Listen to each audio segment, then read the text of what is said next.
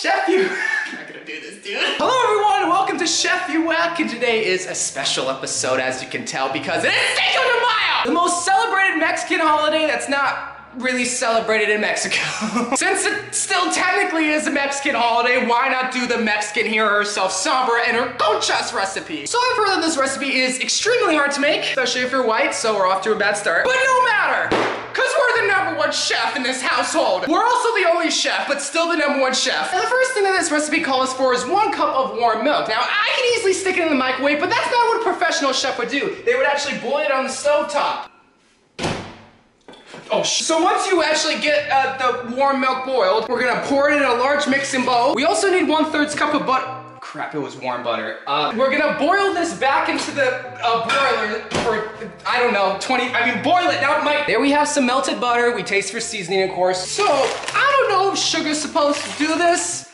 This looks like meth. Boom, change of scenery. So I got this little jar of active dry yeast now because I think that's what the professionals use since they use more than a, Ooh, I always wondered what like exactly yeast is. My girl had it one time. She was very scared, I don't know why. So we just add two tablespoons, two tablespoons, two tablespoons. Oh shoot, it said two teaspoons! I had the same problem last week with the salt! Wait, two teaspoons of active dry All right, now that we're done having our episode while making an episode, we're gonna let our yeast just bloom, eat up all that sugar, and then pour our saturated goodness. And it's every Genji main's favorite part of every single Chef You Wack episode, the salt, but it's just a pinch. This is like, like a tiny, hey, can you maybe heal me, please, Mercy? One more pinch in there. I need a healing. Followed by an egg. Now you think I'm probably gonna crack this in my hand, and you're wrong.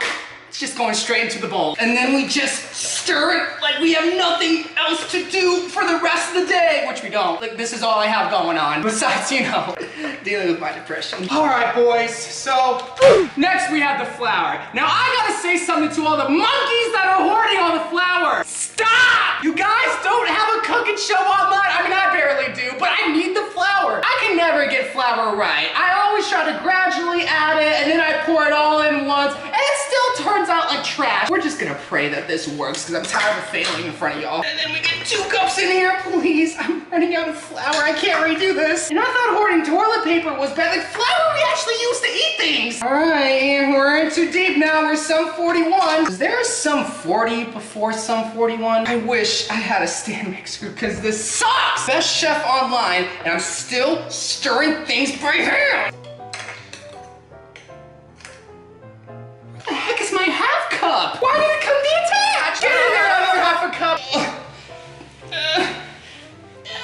Feel like this has been off center for the whole entire time. When a spoon can't do the job that you needed to do, you just gotta use what Jeff Kaplan gave you, your hands. I feel like this isn't hydrated. Like, look at this, it's still, it's, there's still stuff in there. Just get in the dough. Oh my God, how do abuelas do this? Now I can see why every Mexican grandma wants you to eat their cooking. They spend six hours kneading that. All right, you know what? You're getting kneaded on the table. You know, I wish they gave exact times as how long you should knead it. They just say several minutes. Is that seven? Is that 17? Or is that even minute? It is minutes, but it could be 70, 100 minutes. Oh my God. I've been doing this for two minutes and I'm dead! These conchas better be worth it, cause my god. You know what I've always wondered? Who that girl was in the Soldier 76 cinematic. It wasn't Sombra, but you could think it's Sombra. Alright, my boys, I think that'll do it for our little ball of dough. It says it should bounce back after you poke it. Oh my god, it bounced back. I'm so happy. Get in there. Bane of my existence. Freaking. No, I'm done. I'm done. I'm done with you. I'm done. Okay. Okay. Okay. You're okay. You're okay. You're okay. All right, then we have to place it somewhere warm for an hour. And what better warm place than outside in the Arizona sun? Oh my god, just a little sun to take off the edge.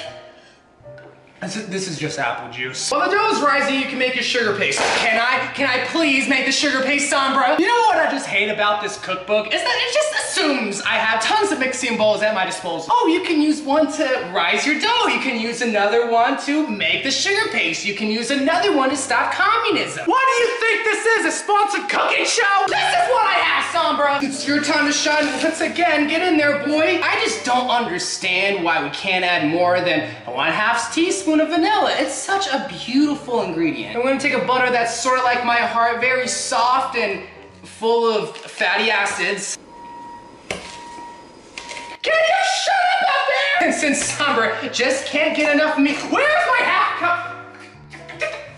We're gonna add some more flour even though we're rationing. It's just not working out very well. Ah! F the spoon, we're gonna get our hands in there nice and, ooh, yeah, that's working out nice. F the spoons, F every single cooking instrument. Your hands are the best instrument for not only cooking, but jerking. Mm. You see what happens when you use your hands? You get a nice little ball of butter. F a spoon. All right, boys, we got the sugar paste. Not really a paste, it's more like a, a pudge. Boom, different side angle. Angle, top. Let's roll this boy out. Bruh. Oh, Jesus Christ.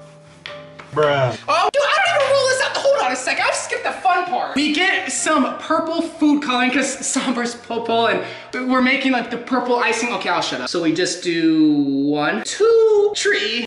This is what we call a trace. Crap, what's purple in Spanish? Hey Siri, what's purple in Spanish? In Spanish, purple is morado. Trace Morado. He's white! You know, thinking about this earlier, why wouldn't I do this when I'm mixing the ingredients, Sombra? So after you stain your hands indefinitely, but got a purple ball, then you roll it out. Oh yeah, oh, that's looking nice. I said, would you like more tamales? So we're gonna take that same cup that you used to drink apple juice and make some circular, oh crap, the apple juice is still there. So when you get one of your two cups that you have to cut out the things, then we cut out the, the things. Uh, uh, uh. Boom, five circular discs. This is supposed to make 12. Please, ma'am, please. Oh.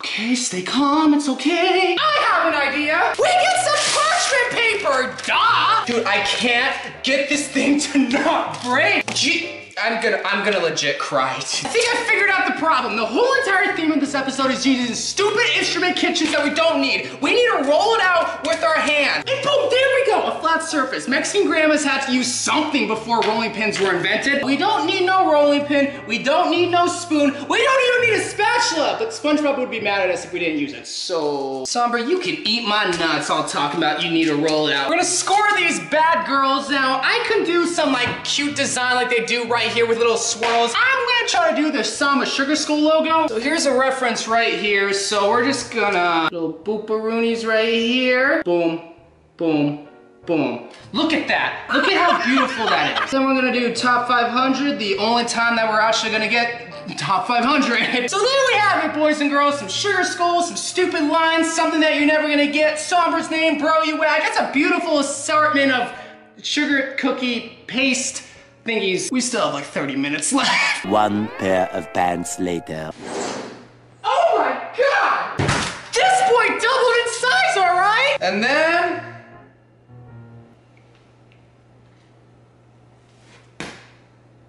There we go. So we need to cut this boy into 12 even parts, so that actually didn't hurt. I got eight little toppers, and I think I got enough for eight even bowls. So Sombra, I don't know how big your bowls are, but mine are massive.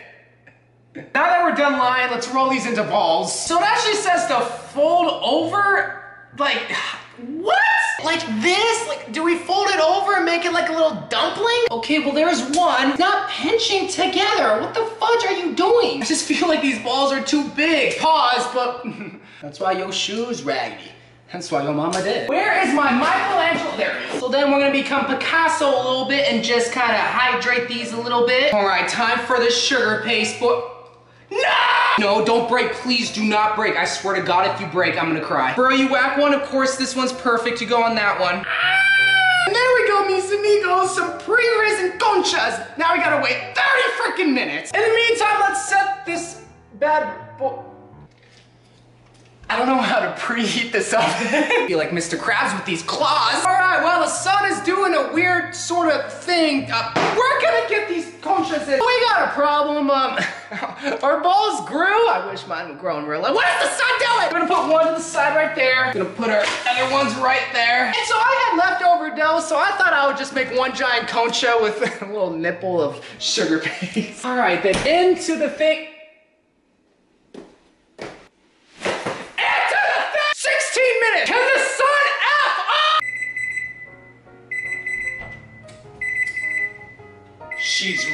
All right, so we take our little Krabby Patty mints, mint, uh, Krabby mint, whatever. All I know is, oh, we got some beautiful coaches. They kind of broke, but that's okay. There's beauty in destruction. God, look at our big coach. What is happening? So we're just gonna get these young whippersnappers onto the cooling rack. Now, any single time I make a pastry of any kind, I always say the best thing to drink along with it is some chocolate milk, but we're not gonna be making chocolate milk today. Oh, look at that beautiful purple milk. I'm so stupid. These might have broken a little bit, but we all have broken hearts and it's okay, but they look almost exactly like the picture. Boys, here is our Sombra conchas. These are so beautiful. Let's break into these and ruin their lives.